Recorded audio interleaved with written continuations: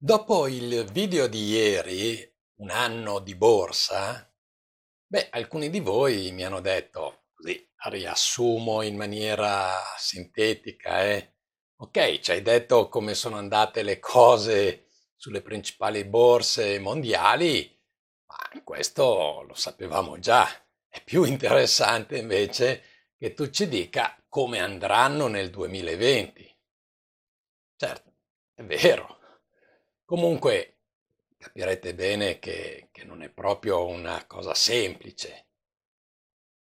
Se, se, non proprio ecco, delle previsioni, però almeno delle analisi sui mercati finanziari per l'anno che sta per incominciare, beh, quelle si possono sempre fare.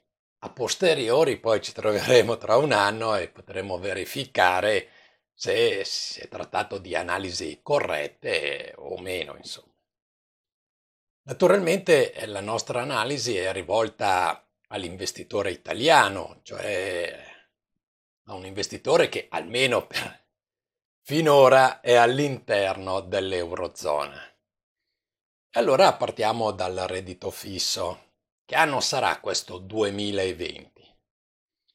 Beh, sappiamo tutti che c'è stato un cambio sulla poltrona più importante e più prestigiosa della BCE il nostro, eh, poi mica tanto nostro, comunque lasciamo perdere. Dicevo, il nostro Mario Draghi ha lasciato la poltrona ad una francese, Christine Lagarde. Questo cambiamento ritengo che comunque non porterà ad, una sostanziale, ad, un, ad un sostanziale cambio di rotta, diciamo, della politica monetaria. L'operazione di quantitative easing con la quale Draghi ha salutato, beh, è una, eh, una operazione che non ha scadenza, o meglio, avrebbe scadenza finché quando l'economia, diciamo, dell'Eurozona o il tasso di inflazione non daranno chiari segnali di ripresa. Possiamo dire che sarà difficile che ciò avvenga eh, nel nel prossimo anno o comunque in tempi brevi. Mi sentirei quindi così di, di continuare a ritenere il mercato dei titoli del debito sovrano dei paesi dell'Eurozona un, un non mercato, ecco, chiamiamolo così. Insomma, se non è morto, beh, perlomeno l'encefalogramma è, è piatto. Quindi rimane un solo motivo all'investitore italiano per entrare in questo mercato. Acquistare dei titoli del debito pubblico tedesco, i Bund, e sperare che scoppi l'Eurozona. Insomma, l'unico vero motivo per un investitore italiano che non vuole rischio cambio Beh, è proprio quello di puntare sul rischio cambio, insomma, cioè sull'esplosione dell'euro. Se invece vogliamo accettare il rischio cambio, ma quello vero, ossia investire in, sul debito pubblico di paesi che non sono, che non utilizzano l'euro, Beh, allora a mio avviso il miglior rapporto rischio-rendimento lo si ha se si guarda dall'altra parte del mondo, sia l'Australia, la Nuova Zelanda. L'Australia è un paese eh, che ha un basso debito pubblico, all'incirca il 40% del PIL, quindi un paese molto solido, con un tasso di disoccupazione molto basso, intorno al 5%, un'economia che cresce a tassi superiori al 2%, quindi più dell'inflazione, tutti dati positivi e quindi purtroppo per l'investitore intendo dire, e anche lì nel 2019 i tassi si sono molto abbassati. Oggi i rendimenti sono intorno all'1,5%, ma tasso di cambio comunque del dollaro, del dollaro australiano intorno a 1,60 nei confronti dell'euro, io lo trovo, a me sembra allettante, insomma, lo trovo allettante. Al di là dell'Australia, ovviamente rimangono sempre gli Stati Uniti. I rendimenti sono un po' più alti, poco sotto al 2%. Beh, poi per quanto riguarda il dollaro statunitense, vedete voi, insomma. Investire in bond eh, sui mercati emergenti per ora non mi sbilancio, insomma. Per concludere il, il discorso, diciamo, sull'obbligazionario, possiamo senz'altro dire che, che in tutto il mondo, ecco, i prezzi sono carissimi. Forse, anzi, molto probabilmente, i rendimenti minimi, eh, cioè i prezzi più cari, eh, beh, sapete infatti naturalmente della relazione inversa che c'è tra eh, rendimenti e prezzi, cioè eh, se diminuisce il rendimento aumenta il prezzo e viceversa naturalmente. Dicevo comunque quindi che probabilmente i rendimenti più bassi, quindi i prezzi più elevati li abbiamo alle spalle. Ma questo ovviamente non è che renda allettante quel mercato, cioè probabilmente la diminuzione dei prezzi che stiamo registrando dal mese di agosto tenderà a proseguire, oppure insomma, rimarranno pressoché stabili. E riferiamoci allora adesso al mercato azionario, partendo da una considerazione. Warren Buffett, non sto neppure a ricordare chi è Warren Buffett, insomma penso che lo conosciate tutti Circa tre anni e mezzo fa, nel maggio del 2016 per la precisione, si era dimostrato ultra ottimista sulla borsa americana. E tanto per cambiare ha avuto ragione. Il fatto, lo ricordo veramente come fosse oggi, è che i giornali avevano sparato tutti un titolo, non so come definirlo, insomma una bomba il titolo era Warren Buffett, due punti, il Dow Jones può arrivare a 100.000 punti.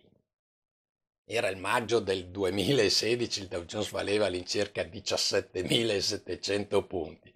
Quindi il solo pensare che il suo valore potesse sestuplicare era come minimo insensato, insomma.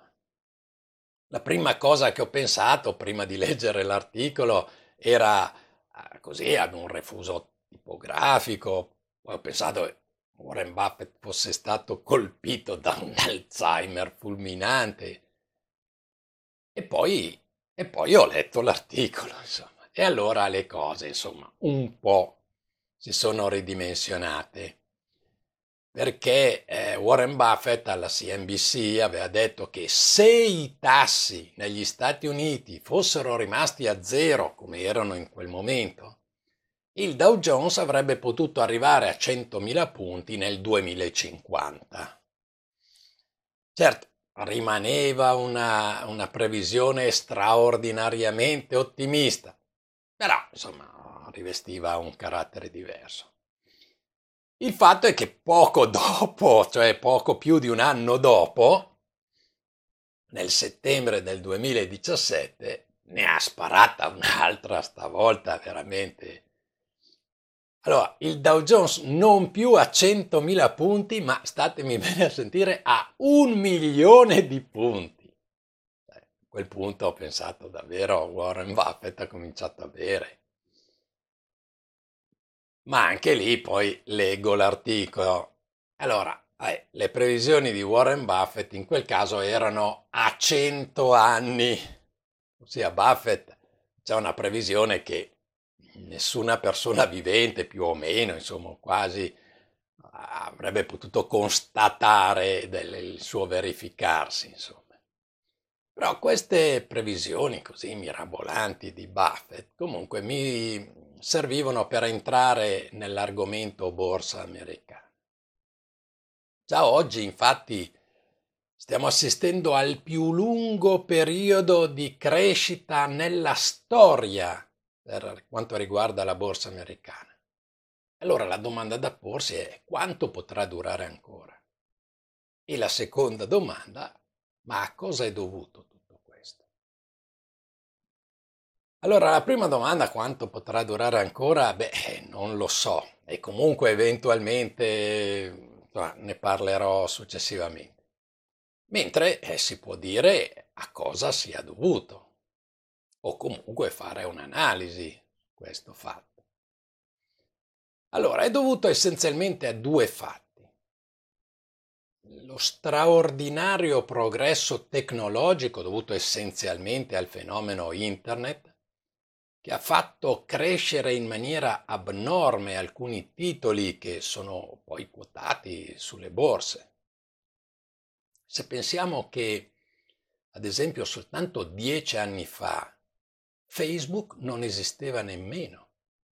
È quotata in borsa infatti dal maggio del 2012. Che Amazon valeva sempre dieci anni fa 100 dollari ad azione, oggi ne vale 1850. Google valeva 230 dollari ad azione, oggi ne vale 1340.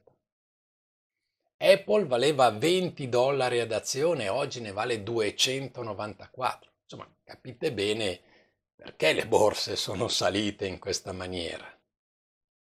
Ma c'è un altro fattore però che risulta eh, forse an- eh, ancora più determinante ed è, ed è proprio la storia dei, dei tassi. Nella storia i tassi non sono mai stati così bassi come in questi ultimi dieci anni. Buffett ovviamente giustifica le sue previsioni, condiziona le sue previsioni proprio al fatto che i tassi rimangano così bassi.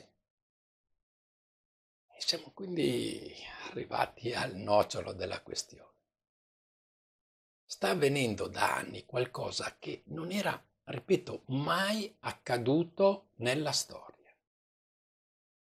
I tassi sono bassissimi, diciamo a zero. E questo naturalmente spinge gli investitori ad andare sul mercato azionario. Tuttavia questi tassi a zero non innescano inflazione.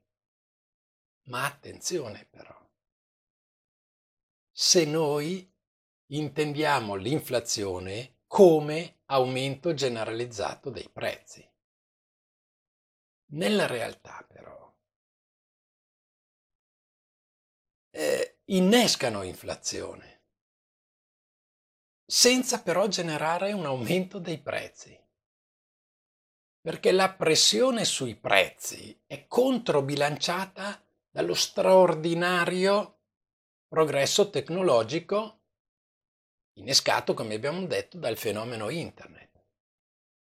Non so che questo sembra un discorso, eh, può sembrare un po' complicato, entro certi termini lo è anche, ma perché? Perché nella realtà l'inflazione può essere causata da un aumento generalizzato dei prezzi, ma quello non è l'unico modo nel quale si manifesta l'inflazione.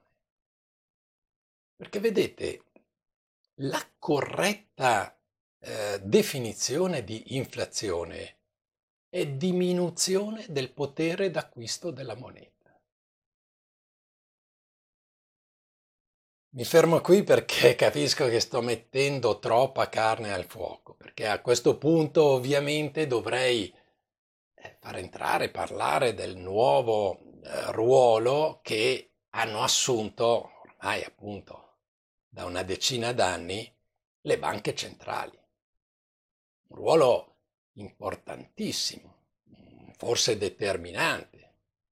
E allora dovrei dilungarmi ancora, insomma, avremo occasione comunque davvero anche in futuro di trattare questi eh, temi che sono fondamentali per capire quel che sta succedendo sui mercati. Lo so, lo so che ora mi state chiedendo, beh, comunque, insomma, in fin dei conti, dobbiamo comprarle queste azioni o venderle? Eh, non è che non voglio sbilanciarmi, credetemi, non posso sbilanciarmi. Quello che naturalmente però posso dirvi è che eh, se questa situazione, che come detto è del tutto anomala, si è verificata per la prima volta nella storia, beh, se ritenete che questa situazione sia destinata a proseguire, se avete questa convinzione, eh beh, allora investite sul mercato azionario. Se invece ritenete che tutto ciò sia il risultato di una gigantesca bolla, una bolla prima o poi dovrebbe scoppiare, beh allora, allora meglio vendere e stare alla larga dal mercato azionario.